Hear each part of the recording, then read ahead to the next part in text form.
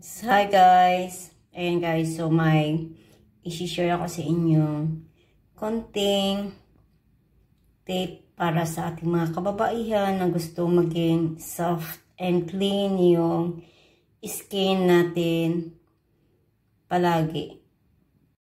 Hi guys! Magandang hapon po. So, ako guys ay gagawa ng uh, short video. So, ito po ay tayo magre-review ng Arm and Hammer brand. So, ito po yung baking or pure baking soda.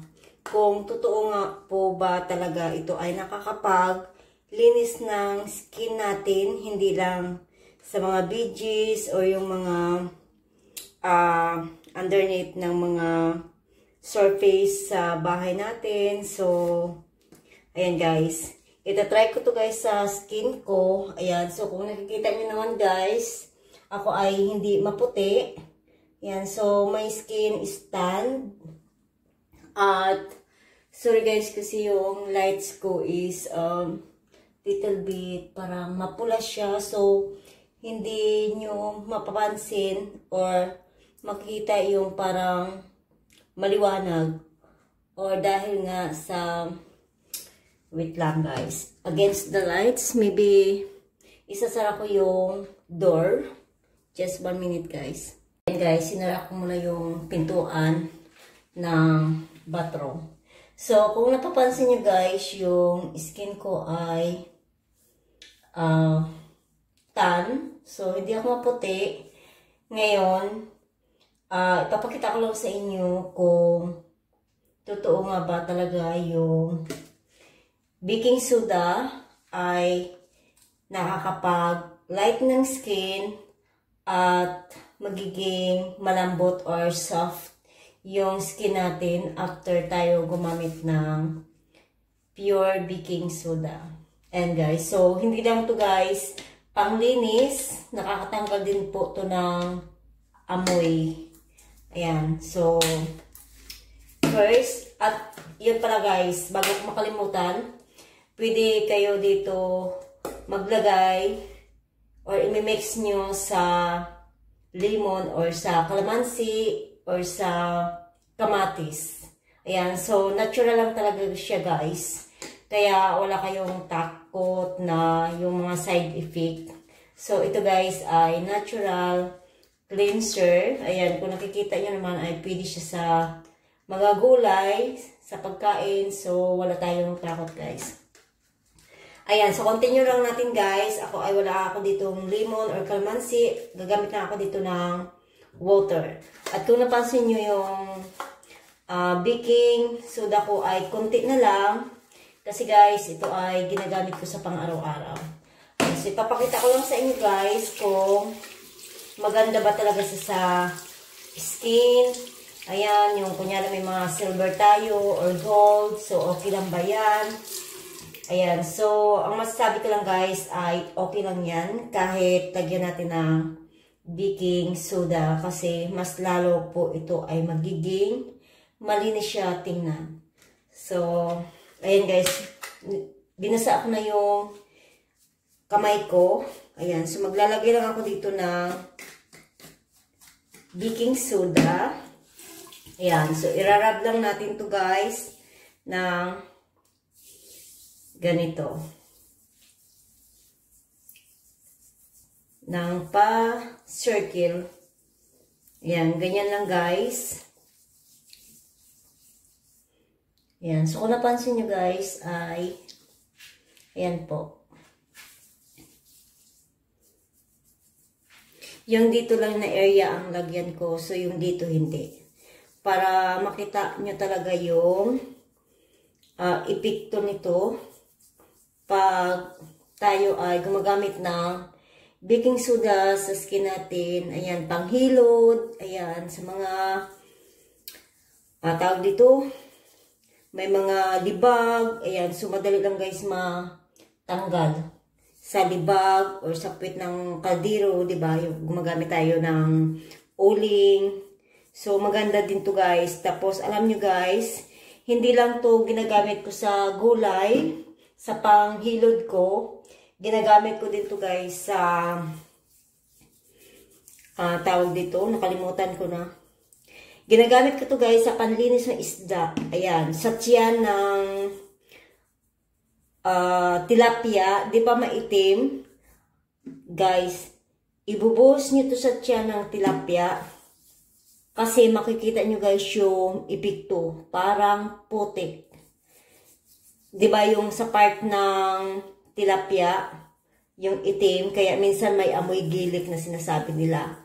So, itry nyo guys. Kasi para siyang putik. Ayan, so, hayaan ko lang nakaganito guys. Ibabad ko lang siya.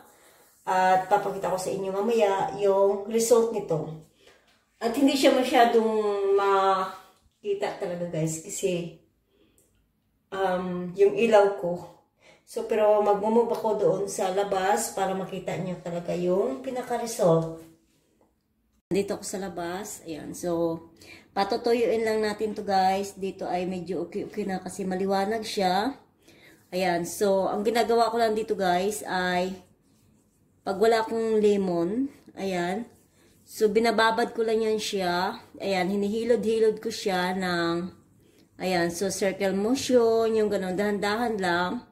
Tapos, hayaan ko lang talaga yan siya guys, matuyo sa balat ko. Tapos, saka ko siya babandawan. Ayan. So, kung napansin nyo guys, ako ay maitim.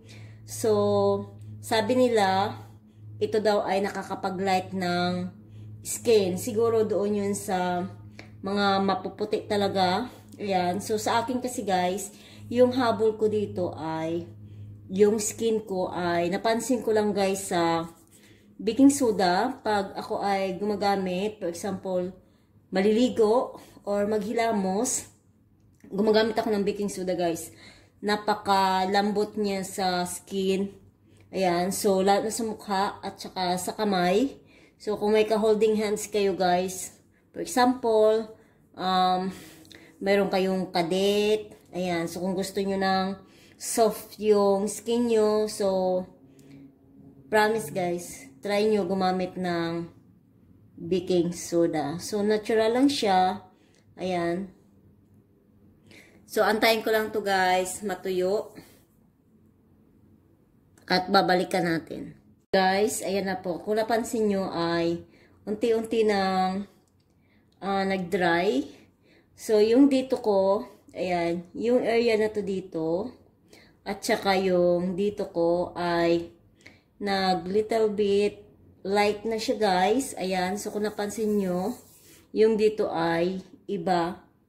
Ayan. Hindi kasi siya guys masyadong ano talaga sa video, pero I swear guys, ang ganda ng baking soda sa skin. So, gumagamit ako nito noon pa. Pero minsan, dahil hindi nga po available, ayan, so, back 2017, 18, ayan, so gumamit ako nito guys, tapos na-stop lang kasi uh, wala na akong mabilhan, hindi, hindi ako makakita ng ganitong brand sa Abu Dhabi. So, na-stop. Ngayon ay may nakita ko dito sa Dubai. So, mag-start ulit ako guys gumamit ng baking soda. Try nyo guys kasi um, nakakapag light skin siya. Tapos, natural lang talaga guys. At hindi tayo matatakot sa mga side effect. Ayan. So, ang pinapartner ko lang dito guys ay Vaseline at saka yung baking soda. After ko magamit ng baking soda, uh, Vaseline. So, ipapakita ko lang sa inyo guys kung ano ba talaga yung ginagamit ko sa uh, daily routine ko para sa balat ko. Ayan guys, so tuyo na siya. Ayan guys, kung napansin nyo yung dito sa may dulo. At saka yung dito ko ay magkaibang kulay. Ayan. So, kasi po, yung dito ko guys, ay ito talaga yung kulay ko. Yung kulay ko talaga guys ay tan. So, talagang ganito na talaga guys yung kulay ko. Ayan. So, pero kung napansin nyo guys, medyo uh, nag-light siya kasi ito po ay nakakapag-light skin. Ayan, hindi man puting-puti, pero at least, yung skin natin, it looks clean. So, ayan na guys. Ayan, ito na yung skin ko. So, balik tayo dito sa mapulang ilaw. Ngayon, bandawan ko na po siya. Ayan.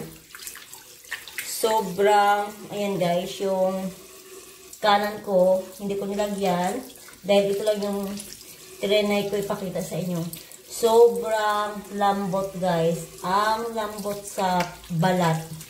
Ayan. So, after nito guys, ay i-dry ko lang to. Ayan. So, hindi na ako dito guys gumagamit ng any kind of soap or sabon.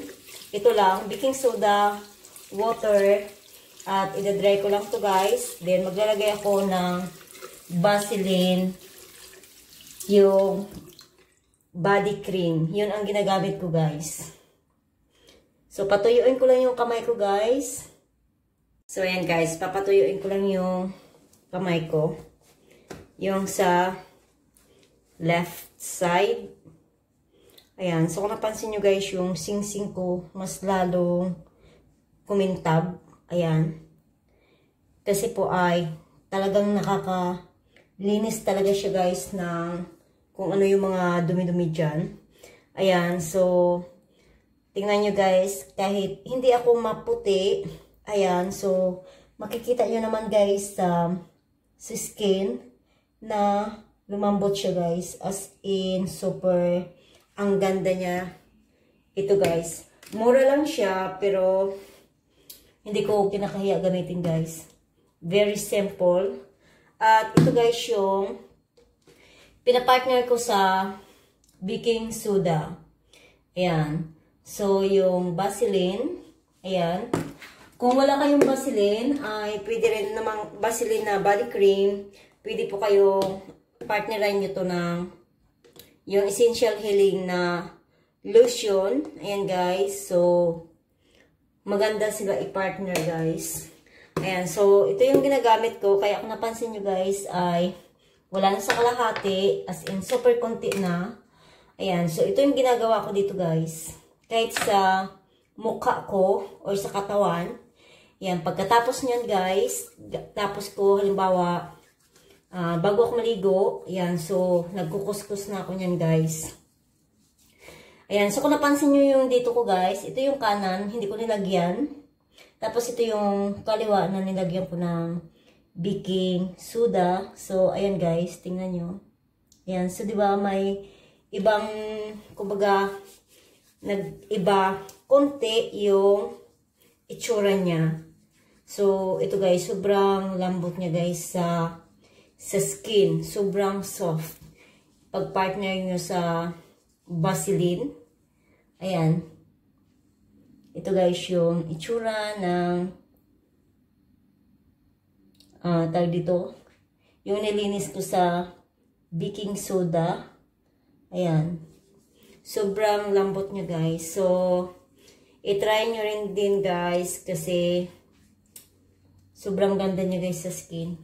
Kahit mura lang, hindi na natin kailangan pa ng mga expensive para sa skin natin. So, at least mura na. ba? hindi pa tayo matatakot sa mga side effect. Ayan. So, sana guys, may natutunan kayo sa video ito at magandang hapon po. So, here we go guys. This is my tan skin. Ayan. So, pero ginagamitan ko siya ng baking soda. Bye-bye!